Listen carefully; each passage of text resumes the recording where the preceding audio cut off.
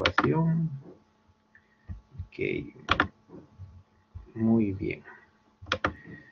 ¿Todo conforme? ¿Pueden, ¿Pueden ver la presentación? Sí, doctor. Sí se ve, doctor. Muy bien. Entonces, lo que vamos a hablar el día de hoy es la prevención de enfermedades transmisibles perinatalmente, especialmente eh, con evaluar lo que es el hijo de una madre que tiene VIH. Eh, antecedentes, pues fíjense que los primeros casos de neumonía por neumocitis carini, llamado anteriormente, ahora ya no se llama neumocitis carini, ahora se llama neumocitis gerovesi, se vio a partir de 1981. Y estos primeros casos, lo característico eran hombres que tenían antecedentes de homosexualidad. Entonces, ¿qué pasaba con aquellos hombres que tenían en común de ser homosexuales y hacer neumonías a un germen que generalmente no causaba daño a personas inmunocompetentes, pero ya se sabía que el neumocitis carini sí afectaba a personas que tenían inmunodeficiencia.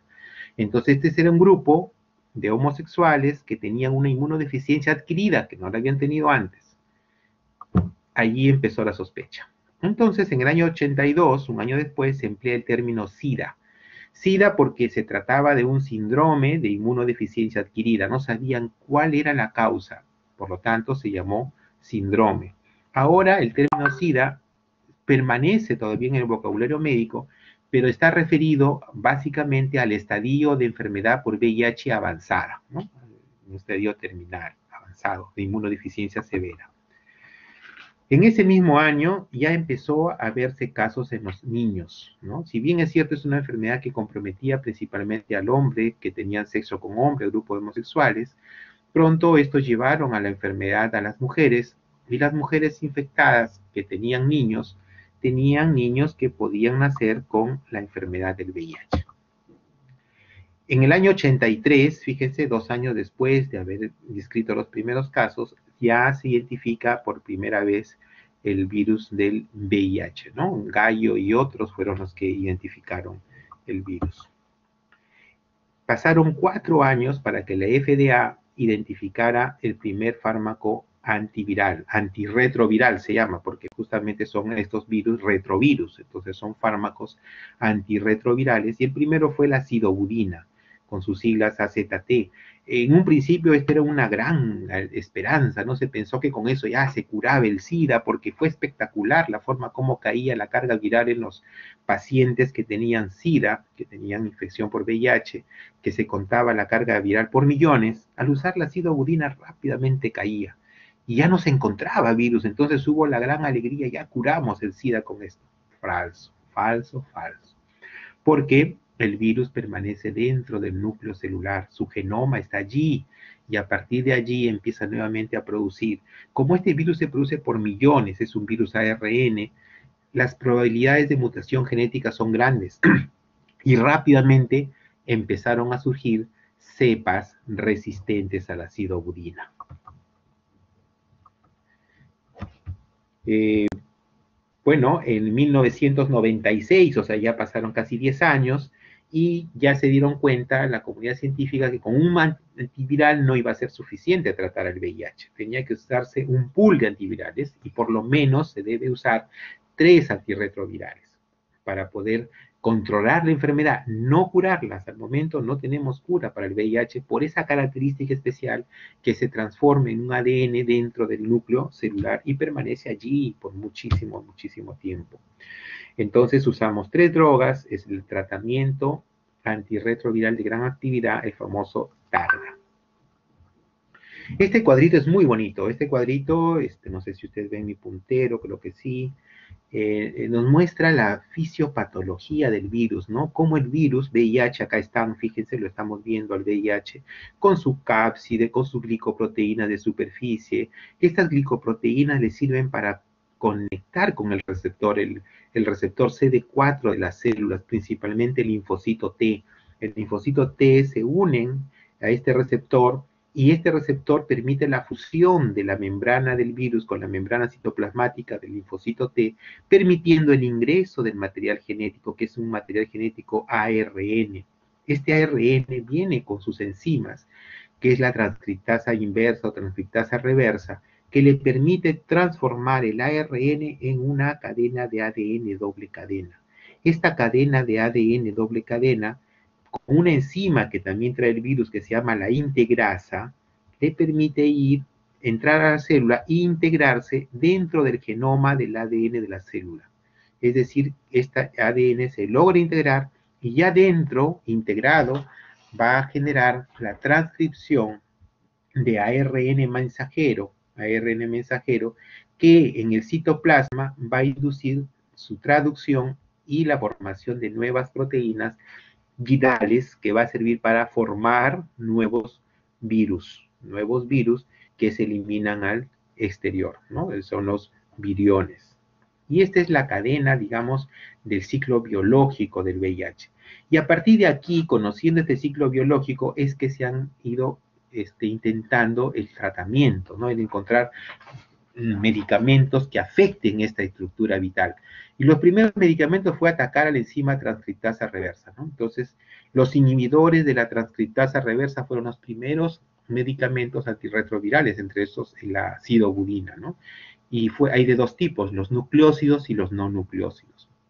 Después, otro grupo de medicamentos antirretrovirales fueron inhibir la proteasa. La proteasa es una enzima del virus también que permite romper a estas proteínas grandes que se han formado en proteínas más pequeñas que son estructura del virus. Entonces la proteasa rompe estas, estas proteínas y le permite estructurar un virus nuevo. Si yo inhibo la proteasa, no se va a poder formar nuevas partículas virales. También hay medicamentos anti-integrasa que inhiben la integración de la molécula de ADN con esta molécula de ADN del huésped. Son inhibidores de la integrasa. Hay otros medicamentos que actúan acá a nivel de la adherencia, que son los inhibidores de fusión. Entonces, es a, estos, a este nivel donde se ha tratado de formar los medicamentos antirretrovirales. Los mecanismos de transmisión, ya ustedes me han comentado que básicamente, principalmente es de vía sexual. Transmisión sexual y justamente se empezó esta epidemia, esta epidemia, que en un momento fue pandemia, virus VIH en la comunidad sexual gay. Entonces ahí donde más tuvo una diseminación. Pero luego eh, fue llevada a los heterosexuales también, comprometiendo a la mujer. Las transfusiones sanguíneas son una fuente de infección, ya que este virus está en los linfocitos, linfocitos T en su núcleo y al hacer transfusiones sanguíneas podemos llevar a los virus, ¿no? Que están dentro de las células y también los virus circulantes en plasma. Obviamente la compartir jeringas. Y lo que nos trae a esta reunión es la famosa transmisión vertical, es decir, la transmisión de la madre al niño, de la madre al niño que lleva en su vientre. Esta transmisión vertical se puede dar durante el embarazo, pero también se puede dar durante la lactancia materna, porque hay un porcentaje de virus que se elimina a través de la lactancia materna y significa un riesgo de transmisión hacia el lactante que está ingiriendo la leche de una mamá con VIH que no está controlada, que tiene cargas virales altas. Obviamente si la mamá está controlada, las cargas virales son bajas, evidentemente el riesgo de transmisión es menor. Y la exposición laboral lo pongo acá porque es importante, sobre todo en nosotros, en ustedes que son estudiantes de medicina, muy pronto médicos, y en el trabajo, por diferentes razones, si son cirujanos, por ejemplo, pueden infectarse al cortarse, al hincarse con una aguja. Si son ustedes eh, de laboratorio, lo mismo, pueden pincharse o en el trabajo en el laboratorio con fluidos, podrían infectarse de este, de este virus. Este es un pequeño resumen para evaluar el riesgo de la transmisión, de la transmisión perinatal, ¿no? Entonces, ¿qué pasa si yo tengo una, una mamá con VIH positiva, que puede ser una mamá con VIH positiva que lo adquirió de la pareja sexual, o la mamá es positiva consecuencia de una transfusión? Puede ser cualquiera de las dos. Y esta mamá sale embarazada, está embarazada y tiene un recién nacido. Miren, si la mamá no tenía conocimiento de estar, de estar enferma o si lo tenía, no se ha controlado, tiene cargas virales altas, ese bebé tiene un riesgo del 30%, perdón, perdón, perdón, perdón, de ya. ese bebé tiene un 30% de riesgo de nacer con la enfermedad, infectado por el VIH. Entonces, 70% de niños con mamás VIH positivas no controladas van a ser VIH negativo. ¿Ya?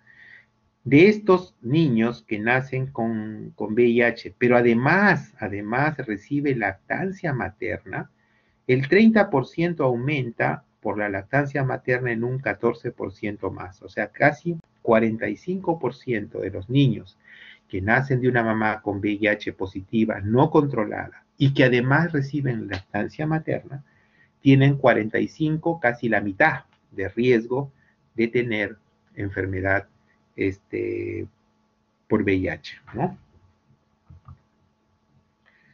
Entonces, ¿cómo es que nosotros hacemos la prevención la prevención de la transmisión vertical. Tenemos que actuar en diferentes puntos, ¿no? La primera y lo más importante que nosotros debemos de hacer como médicos son las medidas preventivas en el nivel primario, en la posta médica, en los centros de salud, los médicos generales. ¿Cómo? Captando a las madres en el control prenatal, promoviendo el control prenatal, que todas las mamás que están embarazadas tengan un control prenatal adecuado. ¿Para qué en este caso? Para identificar a las madres seropositivas, hacer el diagnóstico oportuno de la mamá. Recuerden que en los controles prenatales debería por lo menos ser mínimo, pues cuatro en el embarazo.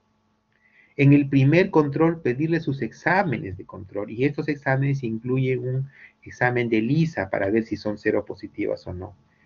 Y además, si fuese negativo este primer control, se requiere un segundo control en el último trimestre de gestación. ¿De acuerdo? Entonces, para prevenir la transmisión intraútero, la mamá debería usar tratamiento targa, tratamiento antirretroviral, con la finalidad de disminuir la carga viral, o sea, la cantidad de virus circulantes en sangre. Ello disminuía la posibilidad de que el virus pase por la placenta y se infecte el, el feto en este caso.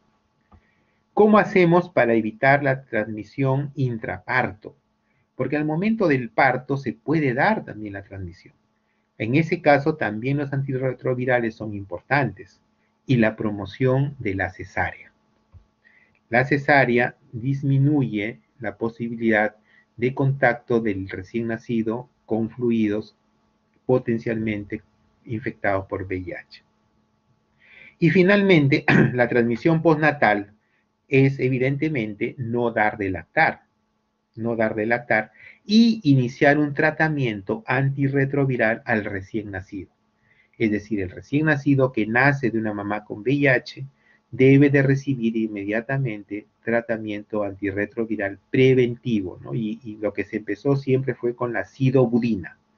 La sidobudina se da al recién nacido para prevenir 2 miligramos por kilo de peso en la mañana, 2 miligramos por kilo de peso en la noche, todos los días, por seis semanas, para prevenir la transmisión del VIH en ella. Entonces, el trabajo que se hace es durante el embarazo, previniendo la transmisión intraútero en el momento del parto mediante la cesárea y postnatal previniendo la lactancia materna y dando al niño antirretrovirales preventivos. Ahora hay varios esquemas de prevención en el recién nacido, ¿no? Se usa la monoterapia como la ZT, por ejemplo, que les he mencionado, pero también hay algunos esquemas dobles, ¿no? Eh, que se usa dos antirretrovirales por menos tiempo, a veces indican un mes, etcétera, dependiendo de las características particulares de cada caso. Veamos un poco de epidemiología en el Perú. El primer caso en el Perú descrito, les dije en el mundo en 1981 en el mundo, ¿no? Como somos, estamos ya en la globalización, para el año 83 también, tardó solo dos años en llegar al Perú. Demoró un poquito más, ¿no? Que, llegara el, coronavirus al Perú en la pandemia del año pasado, ¿no? Que creo que fueron apenas un mes y medio o algo así. El primer caso se describió en el año 83 en el Perú y el primer caso femenino en una mujer fue en el año 87, cuatro años. Eh, fíjense, fueron tres casi cuatro años en el cual los casos eran básicamente en hombres y en hombres que tenían sexo con hombres. Las mujeres se empezaron a, ver en el Perú en el año 1987 y a partir de que la mujer se enferme, el riesgo de tener niños con la infección era claro, ¿no? Y faltó un añito, solamente un año, para que describiéramos el primer caso pediátrico en, en, el, niño nacido de una mamá con VIH. Eh, miren, yo recuerdo haber hecho mi serum, mi internado en el año 91, 91-92, fue mi internado y allí tuve oportunidad de ver los primeros casos de VIH, hijos de mamá con VIH en la seguridad social. En verdad, la ropa, que el atuendo que, se ponía en ese momento era la de un astronauta, mucho más de lo que vemos ahora los atuendos del coronavirus, en verdad. Creo que se ponían como cinco ropas encima, apenas podían moverse, y a quien mandaban a atender al parto no era el más experimentado, era el interno de medicina que iba a atender el parto. Así que yo vi a un compañero mío atender el parto y otro compañero recibir a ese recién nacido. Tuve esa oportunidad.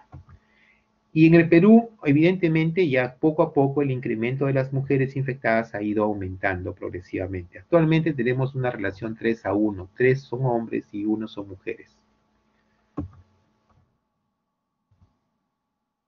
Entonces, este, resumiendo, la, la transmisión vertical es entre el 25 y el 30%, pero si nosotros hacemos todas las medidas preventivas, es decir, madres controladas en targa, parto por cesárea, el neonato no recibe leche materna, se le da su antirretroviral, la disminución del riesgo es a menos del 2%. En los países desarrollados eso incluso menos del 1%. Entonces, una mamá que sigue todos los mecanismos de control prenatal, tratamiento targa, cesárea, no da de lactar, le dan al bebé su prevención con sidobudina, menos del 2% puede infectarse. Es decir, que pueden haber uno, sí, pues hay un piña siempre, ¿no? Nada es 100%.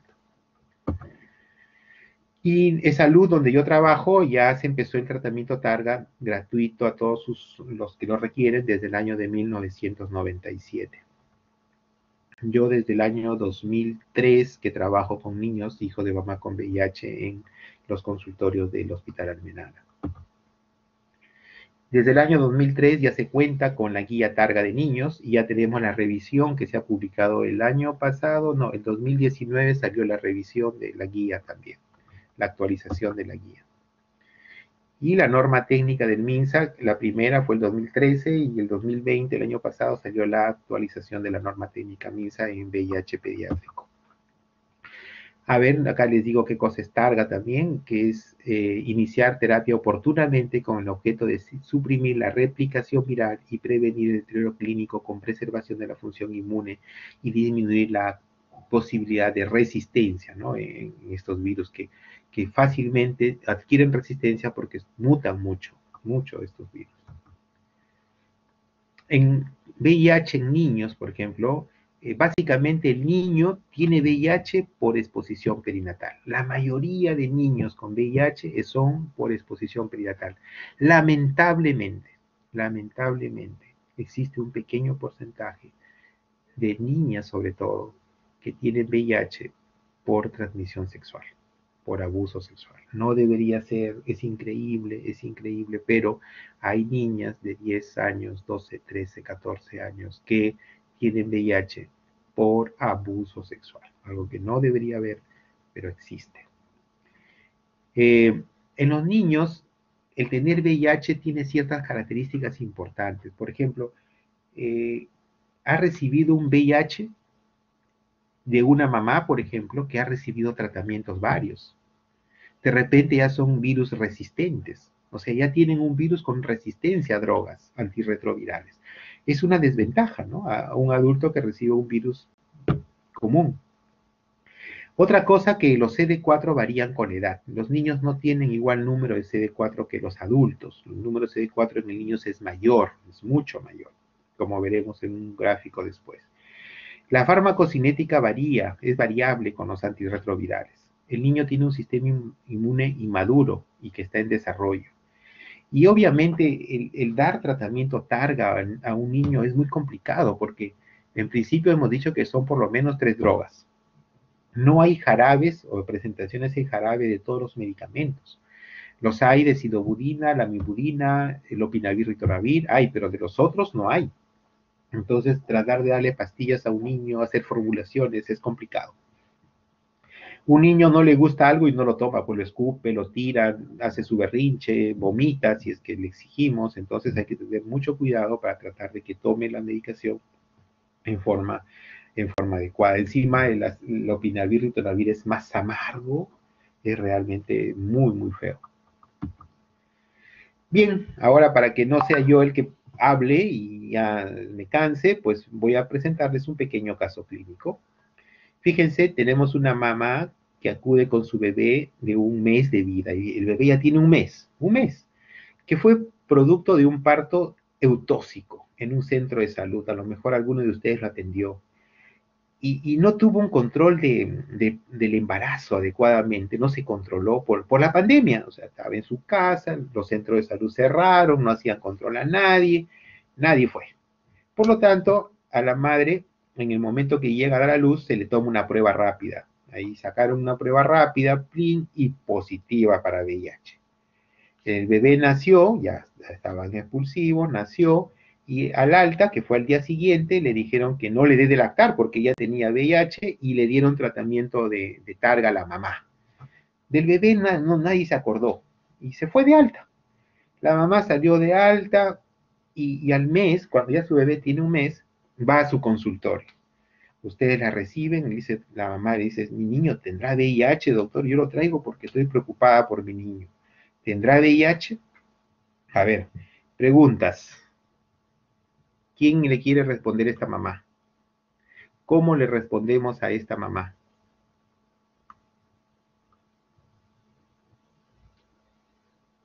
A ver, no los puedo ver, así que voy a tener que que este, mirar directamente. No sé dónde están.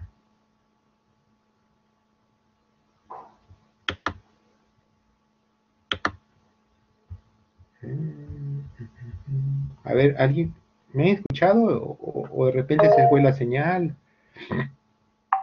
A ver, dígame por favor, ¿quién me contesta? Sí, doctor. ¿Quién le contesta a esta mamá? ¿Quién le contesta a esta mamá? A ver, escucho. Eh, bueno, doctor, es posible que tenga VIH porque, como ya mencionó, si la madre no controló su embarazo en el centro de salud, la probabilidad es alta de que pueda haber transmitido verticalmente el VIH. Aunque haya recibido. Sí, doctor, eso. Sí, sí, sigue, sigue. Bueno, aunque en realidad con el tratamiento con sidobudina también se reduce, no es que se elimine la, el riesgo se reduce bastante, considerablemente, se minimiza bastante. Sin embargo, si eh, al bebé todavía tendríamos que también realizarle los análisis respectivos para saber a ciencia cierta el diagnóstico.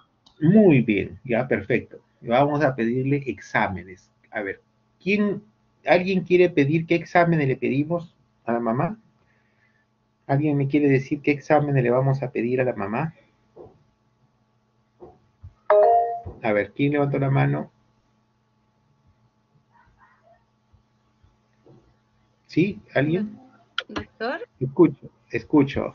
María Elena, creo. María Alejandra, ¿no? María Alejandra, por favor. Sí, doctor, no se escuchan bien. A ver, ¿me escuchaste, María Alejandra? A ver si me dices, ¿qué examen le pedimos al bebé, al bebé para saber si está con VIH o no está con VIH? Para la mamá está preocupada. ¿Al bebé o la mamá? No, la mamá ya sabemos que tiene VIH. La mamá está en tratamiento. Lo que la mamá ha venido al consultorio para preguntar sobre su bebé. no estoy segura, pero podría ser la carga viral y CD4. Ya le pedimos carga viral y CD4. ¿Qué dice Claudia? Sí, doctor, si al examen físico no observamos ningún, este, ningún signo posible que nos indique VIH en el recién nacido, podríamos hacerle un examen de PCR de VIH. Ya, muy bien. ¿Qué dice Víctor?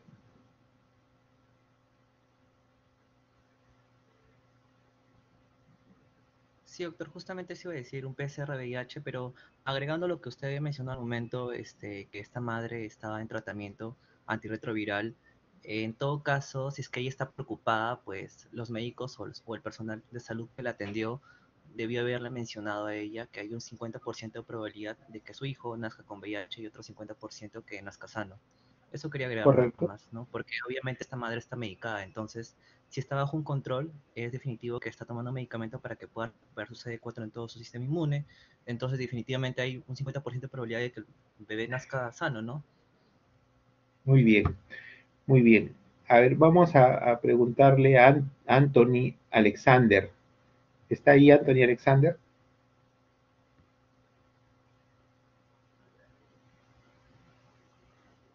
Anthony. No está Anthony. Angie Guadalupe. Angie. Mm, Ya entiendo por qué quieren que grabe la clase, porque no están en clase, quieren ver la clase después, seguramente. Benjamín Bástidas.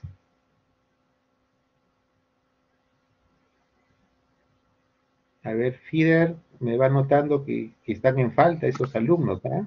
Sí, doctor, no se preocupe. Gracias, Fider. Brigitte Natalie. Sí, doctor. Buenas tardes. Ah, Brigitte. Brigitte, ¿algún examen le, le pedirías tú? ¿Alguno más? Bueno, sobre todo, eh, bueno, en este caso al neonato pedirle sobre todo la prueba que están comentando los compañeros de PCR, eh, porque necesitamos eh, detectar el virus con mayor tiempo para darle un tratamiento temprano. Muy bien, Brigitte, muy bien. Ahora, esta mamá se fue, le pedimos la prueba y va al- al laboratorio y la prueba cuesta 800 soles. La mamá no tiene plata. El laboratorista le dice, señora, pero ¿por qué no le hace un ELISA de VIH? ¿Cuánto cuesta el ELISA? "Eh, 30 soles. Oh, está bien, le hace su prueba de ELISA. Y regresa a la consulta con la prueba de ELISA y el resultado es positivo es positivo. ¿Qué le explicamos, este, Carolina Isabel, a la mamá?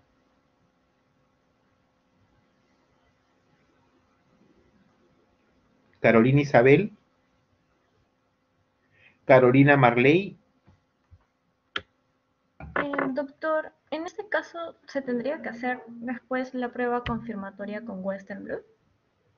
Bueno, entonces la- le pediste Western Blot, la mamá va, pregunta, ¿Western Blot hacen? Sí, hacemos Western Blot. ¿Cuánto cuesta? 50 soles. Ya, la mamá lo paga, regresa al consultorio y le dice, doctora, me ha salido positivo. Western Blot positivo. ¿Qué le decimos a la mamá Erika Arturo Avia?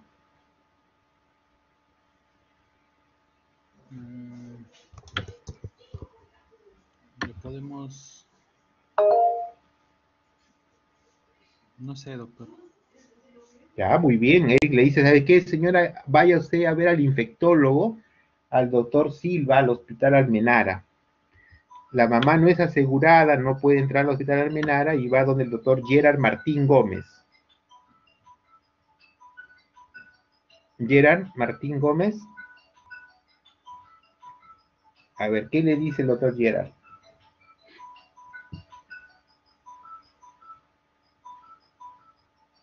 Tampoco está Gerard. Héctor Ulises Reategui. Escuchaba? Disculpe. Oh, Gerard, ya. Sí, se me- Sí, dime, Gerard, ¿qué le decimos a la mamá? Posiblemente tenga VIH, doctor. Doctor, ¿y cómo puedo saber si tengo o no tengo? Usted me dice posiblemente, ya gasté 80 soles.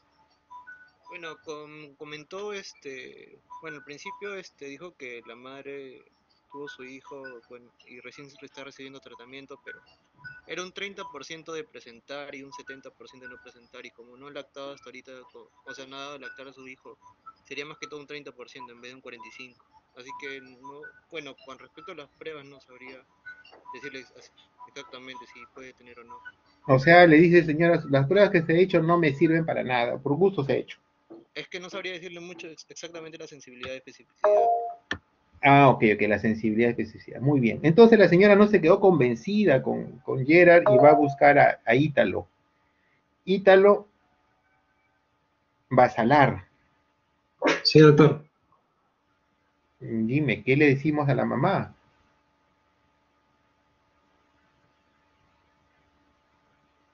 Vaya el especialista, ¿no?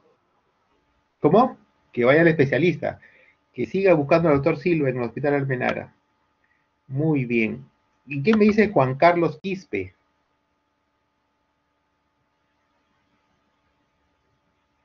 Juan Carlos Quispe. Tampoco está Juan Carlos. Julio Fabricio Ponce. Julio. Eh, mm, sí, doctor. No, no, Sí, la verdad que no, no estoy seguro que Perfecto, confirmo? Julio. No estaría Eso- como- para, eso, para eso es la clase de hoy. Para eso es la clase de hoy. Lorena Fabiola.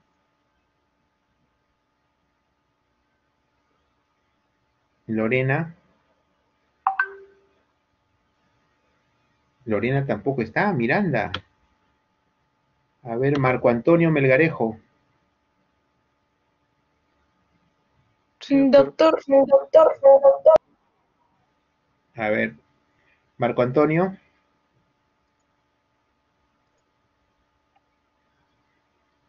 No te preocupes, Lorena. Marco Antonio,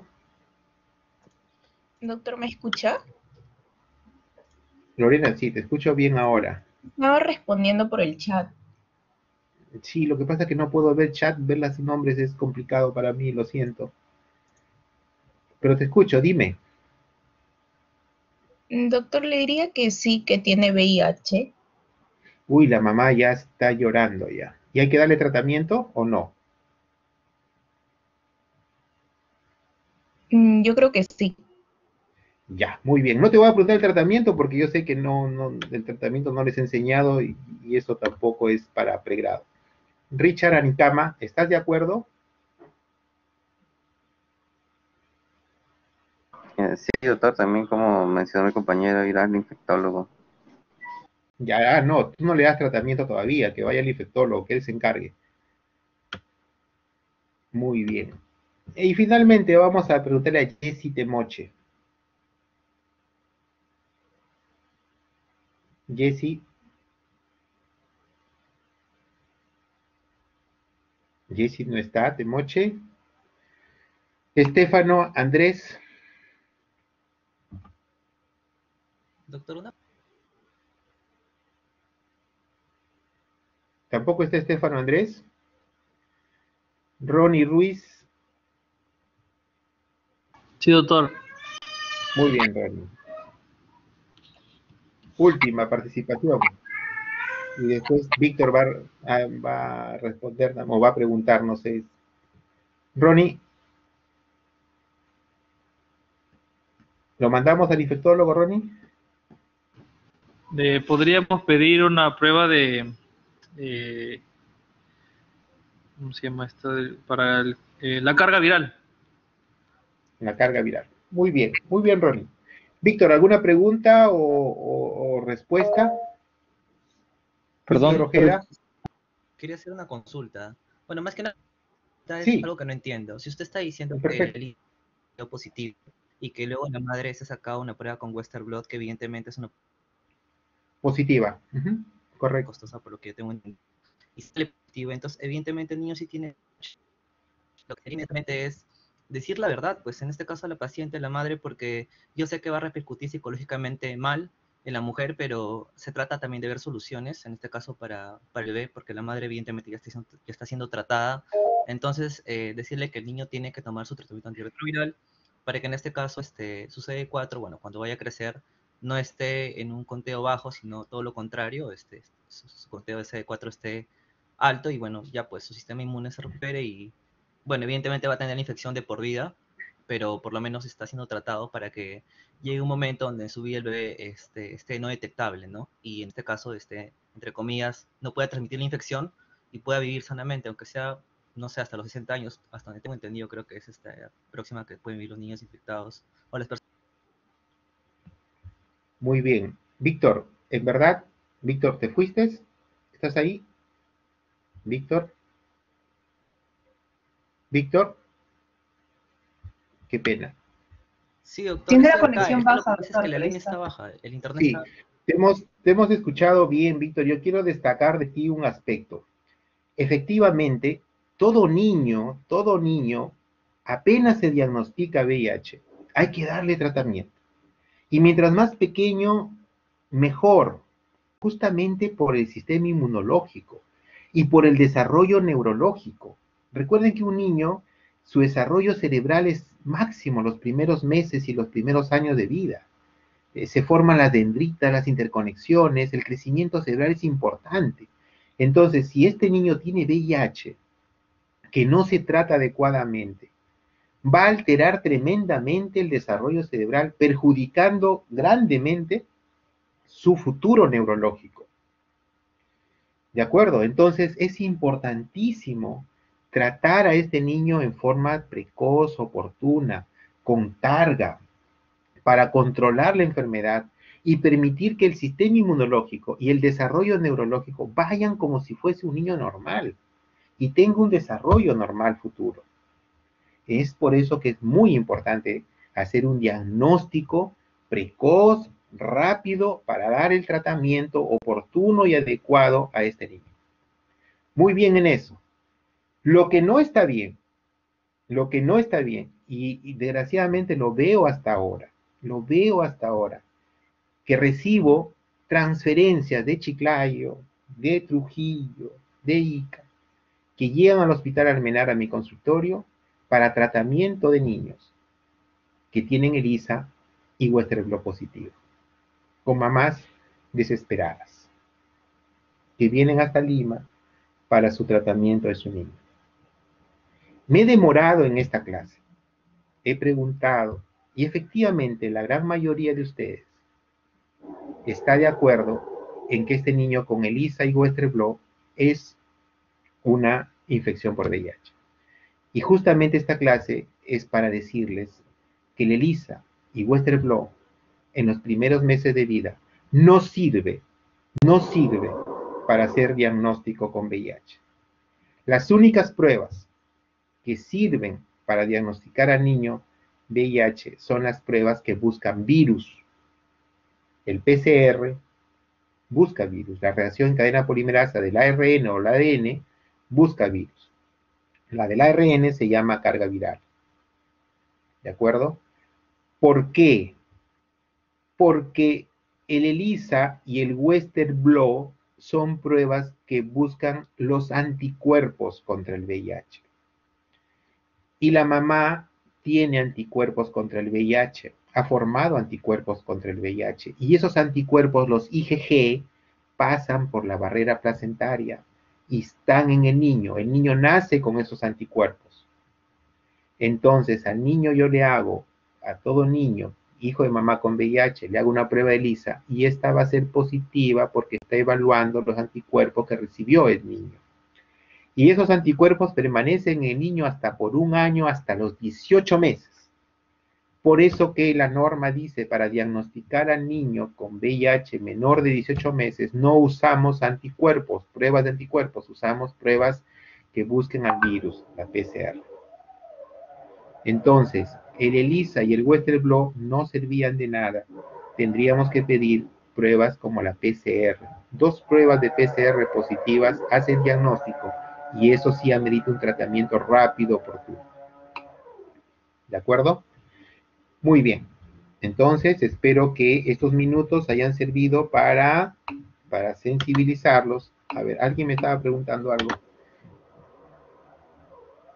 Ah, ya, la plata. Desgraciadamente, sí, pues, en la parte privada, en la parte privada, hacer un PCR cuesta entre 700 y 900 soles, en la parte privada. El gobierno, para el CIS, lo da gratuitamente.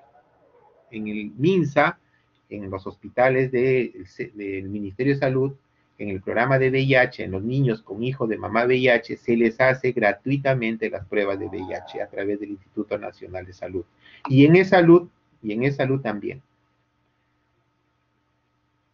En, el Perú, sí, las pruebas gratuitas, como te digo, lo hacen a través de ministerios de salud, a través del Instituto Nacional de Salud y el programa de VIH. O sea, y salud también lo hace. ¿Ya? Entonces no hay excusa, pero si la mamá va a la parte privada, esos son los resultados. ¿Sí? Muy bien, ahora vamos a retornar a nuestra clase. ¿No? Entonces eso era pues para explicarles las pruebas, ¿no? El ELISA y el Western Blot no son pruebas para los niños. Son pruebas para niños mayores de 18 meses. Si el niño tiene dos años y le hago ELISA, Western Blot y sale positivo, ese niño tiene VIH. Se diagnostica igual que el adulto. Entonces tenemos algunas definiciones, ¿no? Como el lactante expuesto al VIH. No, que es el- disculpe, una Sí. consulta. Eh, si la madre ha recibido el tratamiento, que si no me equivoco es la acidobudina, se supone que el efecto adverso en el neonato es la anemia. ¿Y qué pasa si yo le hago un examen de lisa y veo al recién nacido con anemia? ¿Puedo sospechar todavía de VIH o sí o sí tengo que hacerle la PCR confirmatoria? No, no, no, no. Mira, la anemia es una reacción adversa a la acidobudina y la acidobudina le damos al recién nacido. O sea, yo le doy acidobudina a un recién nacido como prevención desde que nace. Si me hace anemia, es otra cosa, ¿no? Es otra cosa. Veré cómo lo manejo. Pero que tenga anemia un niño, no digo ya puede ser que esté enfermo, no, no, no. Para hacer diagnóstico tengo que hacer las pruebas virales, el PCR. ¿Ya? ¿De acuerdo? Sí, bien. ok, gracias. Entonces, las definiciones que hablamos es el lactante expuesto al VIH. El lactante expuesto al VIH es el niño que nació de una mamá con VIH. No sabemos si está enfermo o no. El lactante expuesto, presuntamente no infectado por el VIH, es aquel que luce bien, crece bien, pensamos que no tiene. Y el lactante expuesto no infectado es aquel que llamamos cero revertor, es decir, aquel que tenía una prueba de ELISA positivo, pero ya tiene más de un año, le hacemos un ELISA y salió negativo. Entonces eso sí definitivamente no tiene VIH, es un rever- cero revertor. Y acá está el resumen del diagnóstico de niños menores de 18 meses. Para hacer el diagnóstico de un niño menor de 18 meses, según la norma, se requiere dos pruebas virológicas positivas, es decir, PCRs positivos. ¿Ya? Son las únicas pruebas virológicas que tenemos, el PCR. Y o también nos dice que sea un lactante que nació de una mamá con VIH y que el diagnóstico clínico tiene SIDA, es decir, tiene la categoría clínica C. ¿De acuerdo? Hay algunas condiciones clínicas que marcan SIDA, eso se lo voy a poner en un cuadro después. Perdón, no sé. El mayor de 18 meses, el niño mayor de 18 meses, se diagnostica igual que en el adulto, que es lo que ustedes recuerdan. Por eso que están con el ELISA, el Western porque eso se hace en adultos. En el niño mayor de 18 meses, como en el adulto, una prueba de ELISA positiva, confirmada con un Western Blot o con un IFI, ya nos da el diagnóstico de VIH. ¿De acuerdo?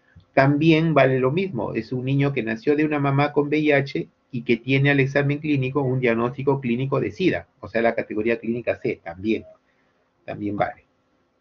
Los objetivos del diagnóstico en el niño y del, del tratamiento es prevenir la transmisión del VIH luego del nacimiento, ¿de acuerdo? Hay que evitar infecciones oportunistas, disminuir hospitalizaciones, preservar el crecimiento y desarrollo y mejorar, no sé qué dice aquí en esta parte, no leo.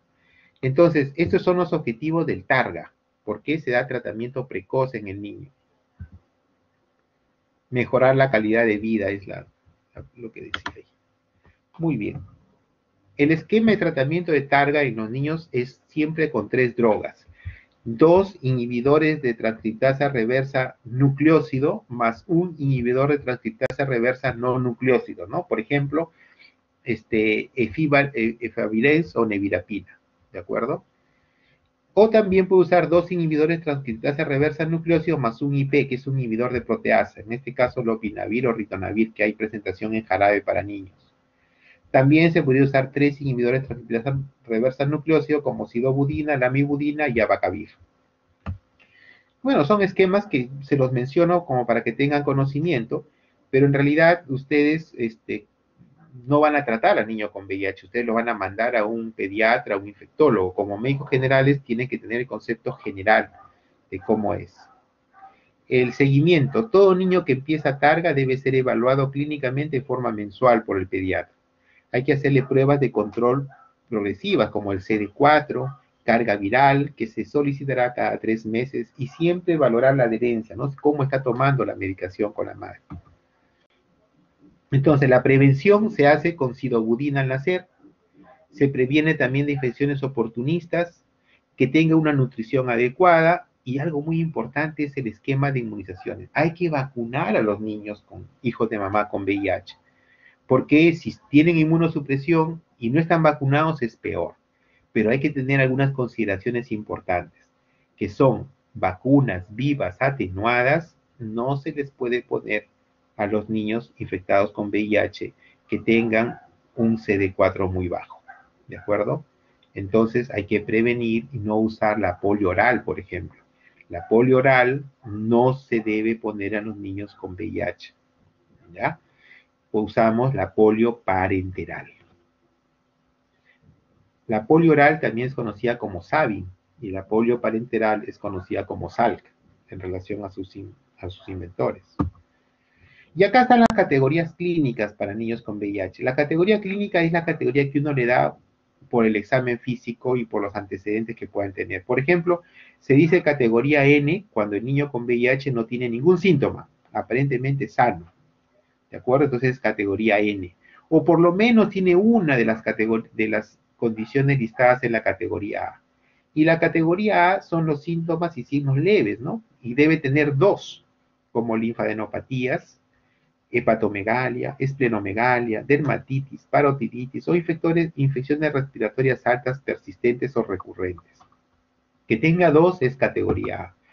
La categoría B ya incluye síntomas y signos hematológicos, anemia, plaquetopenia, leucopenia, una infección de meningitis, neumonía, sepsis, candidiasis orofaringia, infecciones por citomegalovirus, etc. Estas son otras enfermedades de categoría B. Y esta es la categoría C que les decía, que, ya es equivalente al estadio SIDA. Eh, la categoría C significa infecciones bacterianas severas, múltiples y recurrentes, como sepsis, neumonía, osteomielitis, artritis, candidiasis esofágica o pulmonar, eh, hongos como coccidiomicosis seminada, criptococosis, criptosporidios, citomegalovirus en mayores de un mes, histoplasmosis, encefalopatías, etcétera, etcétera. ¿no? Acá está también el sarcoma los linfomas o las neumonías por neumocitis yerovesi. ¿ya? Ahí está la categoría C, que también incluye el síndrome consultivo. Y esto sirve para hacer una clasificación clínica. Entonces, la clasificación clínica se, junta con la clasificación inmunológica. La clasificación inmunológica tiene que ver con la cantidad de CD4. Por ejemplo, eh, será sin supresión si menor de 12 meses tiene más de 1500 CD4. ¿De acuerdo? Pero de 1 a 5 años, más de 1000. Y de 6 a 12 años es como un adulto, más de 500.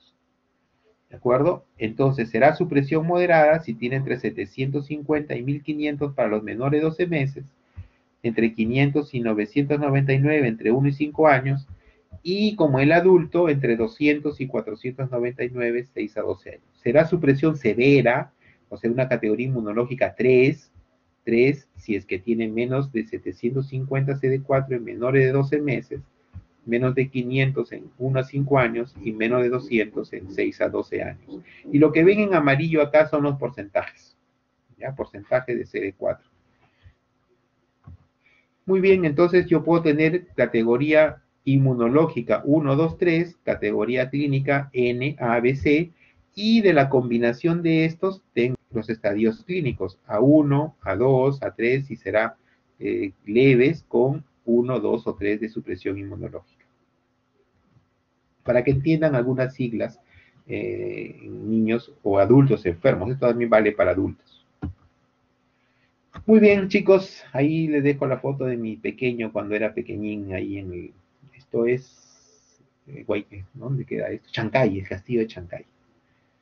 ¿Preguntas? Creo que nos hemos pasado o todavía estamos en la hora. Estamos en la hora, ¿no? A ver, preguntas.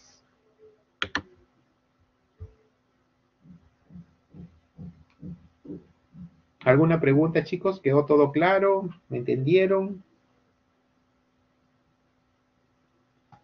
Doctor, una pregunta. Sí. Eh, yo quería saber acerca de... Lo que pasa es que esta enfermedad, por lo que tengo entendido, también es considerada una pandemia por tener bastantes años de vigencia sin tener, digamos, una solución de por medio. Y justamente en medio de lo que es este, esta coyuntura, también había leído, este, así como habían sacado vacunas para el COVID, también creo que se está experimentando vacunas este, para tratar esta enfermedad en personas que no tengan infección. Quería saber si usted tiene algún tipo de información acerca de eso. Correcto, correcto. Ah, Michelle, estoy leyendo tu pregunta, pero se me fue, se me fue rápidamente, disculpan. A ver, para responderte, Víctor, creo que hizo la pregunta, eh, es una pandemia no por la duración de la enfermedad, ¿ah? Ojo, chicos. Eh, tenemos enfermedades como la malaria, por ejemplo. La malaria es milenaria, es milenaria desde, muchísimos años atrás, pero no es, no, no- es pandemia porque solo compromete algunos lugares que son tropicales, por ejemplo. Entonces, la definición de pandemia es cuando compromete los cinco continentes, o sea, se distribuye rápidamente, en el mundo entero está el problema, y crece, y va en aumento. A eso llamamos pandemia. O sea, no solo que comprometa a todo el mundo, sino que esté en aumento. Cuando compromete el mundo y está, digamos, constante, se llama endemia ya, o en un lugar X. Entonces, pandemia, sí, el virus del VIH empezó en algunos brotes en, en Estados Unidos inicialmente, Europa, África, y fue creciendo, abarcando pues América Latina, Centroamérica, todos los países del continente, ya se convirtió en una pandemia, ¿no? Eh, porque está en incremento, aumentando los casos, correcto. Entonces, sí, hay, una, hay un interés grande en investigar tanto en tratamientos como en prevención. Y se ha estudiado y se sigue estudiando el tema de la vacuna. Yo sé que la vacuna del VIH ya está bastante avanzada en varios proyectos, en varios protocolos de investigación. Y por ahí nos sorprenden cualquier rato sacando, sacando la vacuna.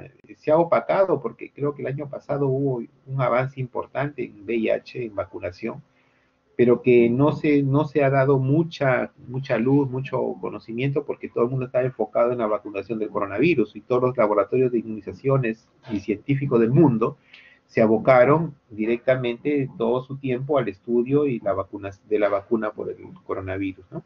Pero creo que apenas este coronavirus se, se ya te tenga una vacuna y nuevamente retornarán los proyectos y protocolos de la inmunización por VIH que está bastante avanzado.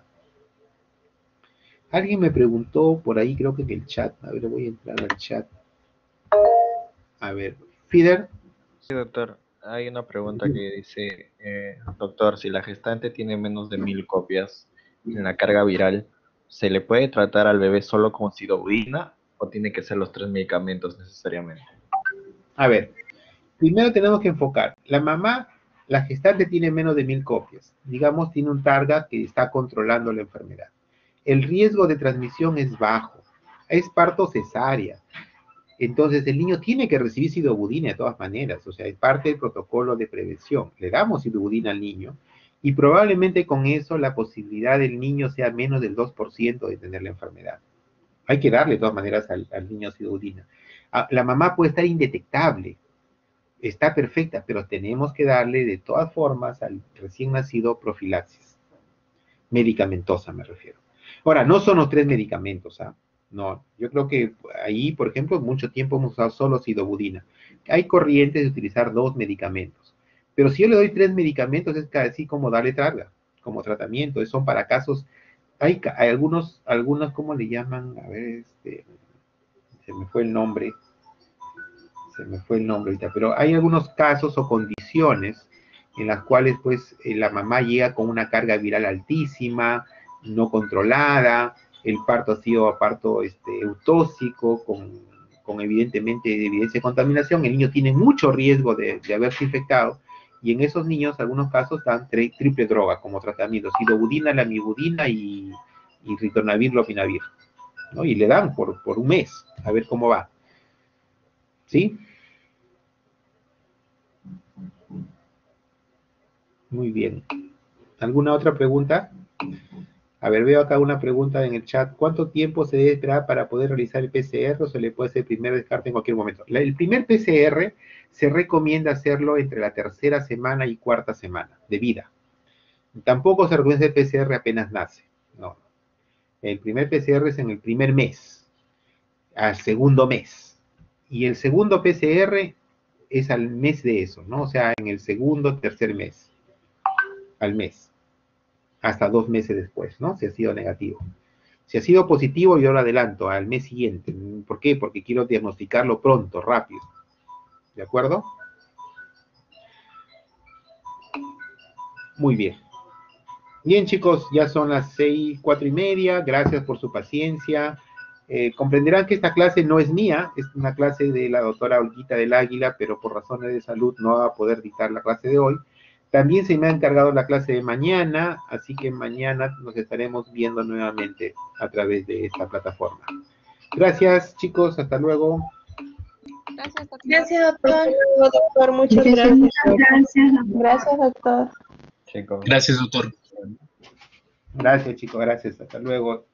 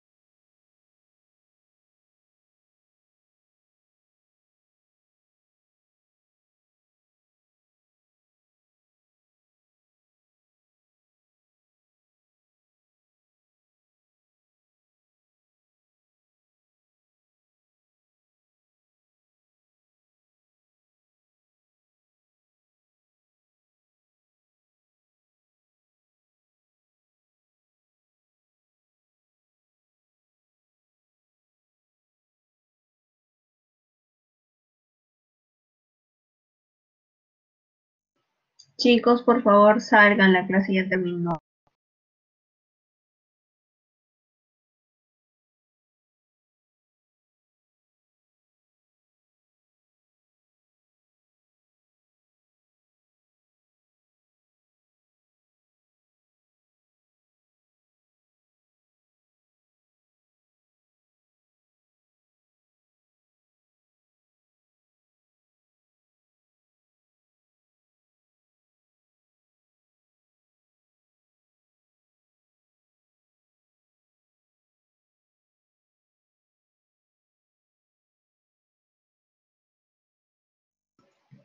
Julio, César,